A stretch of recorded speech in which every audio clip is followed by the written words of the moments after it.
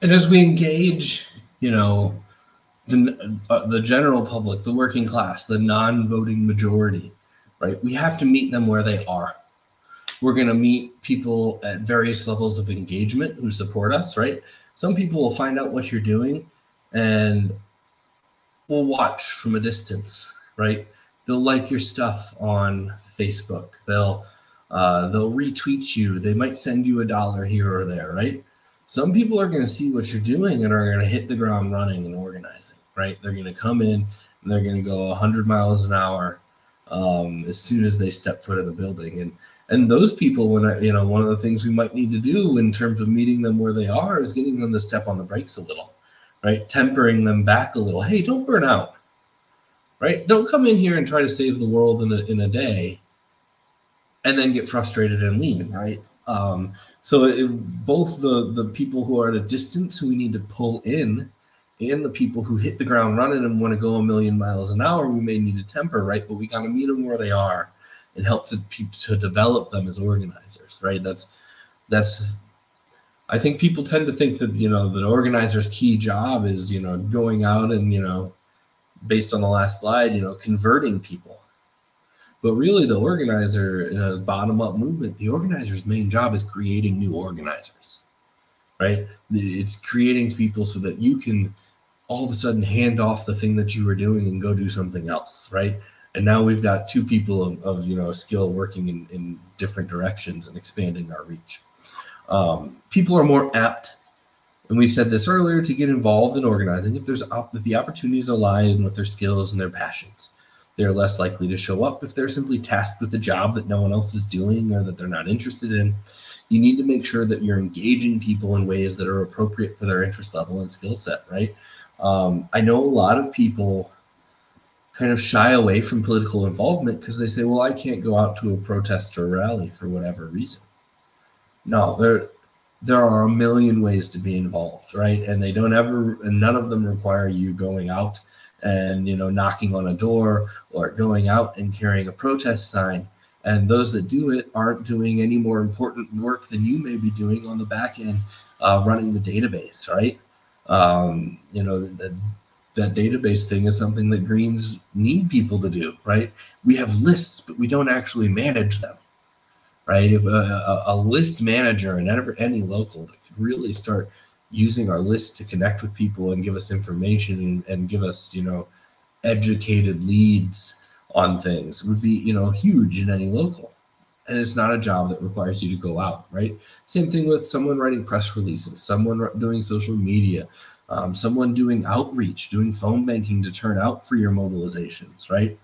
Um, so we've got to make sure that there are people that we're engaging people in ways that uh, that are appropriate for their interest and skill level and we're not trying to pigeonhole people into doing the things that we want to do uh, you know that where we need people.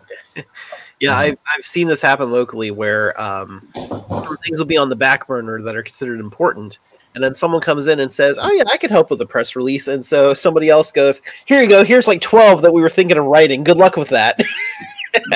And, and swim yeah, exactly. And, and, that's the easiest way to turn people off and push them out of the party, right?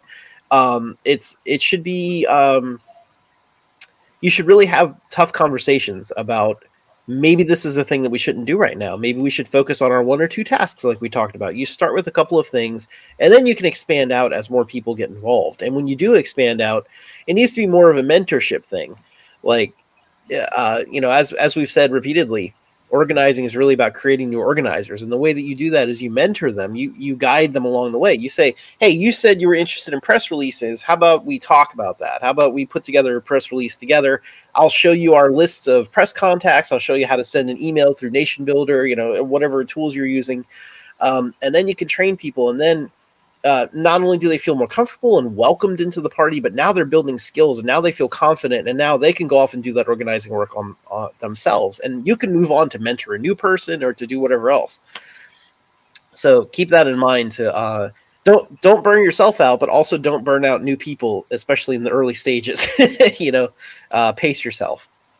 And don't leave people to sink or swim because a lot of times people will just sink right? Like Garrett said, like when when someone wants to do something, match them up with someone who has the skill set to train them how to do it, right? Um, set them up for success. Uh, you know that that was that's something as a uh, as a former Montessori teacher.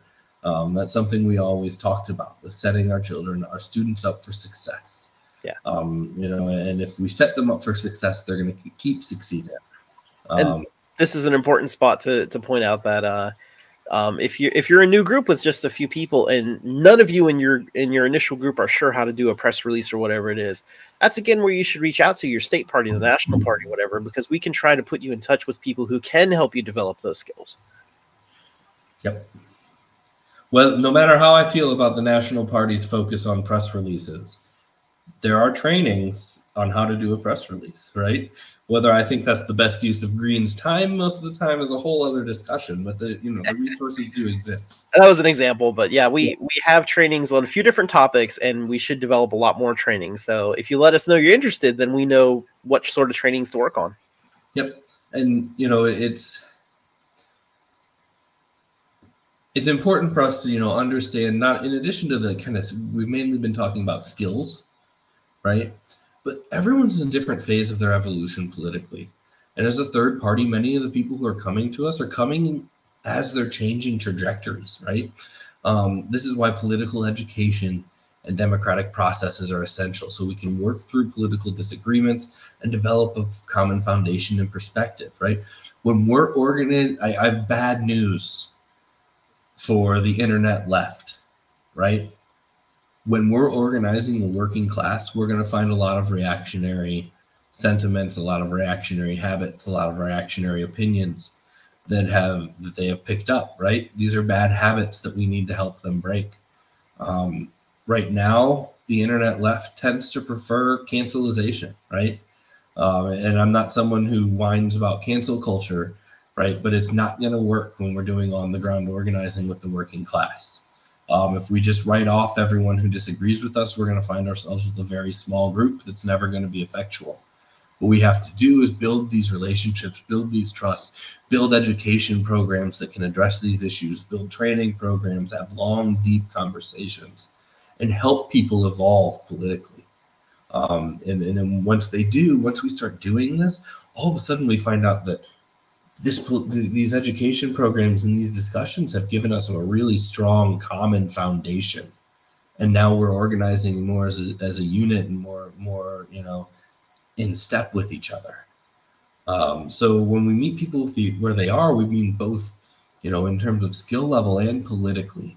Um, we've got to be we've got to be able to have these hard conversations. We've got to learn successful tactics and strategies to um, God, I hate that I'm going to use this word, but deprogram people, right? I, I, really don't like that term, but it works here, right? And we've got to be better at it. We've got to actively apply ourselves to it.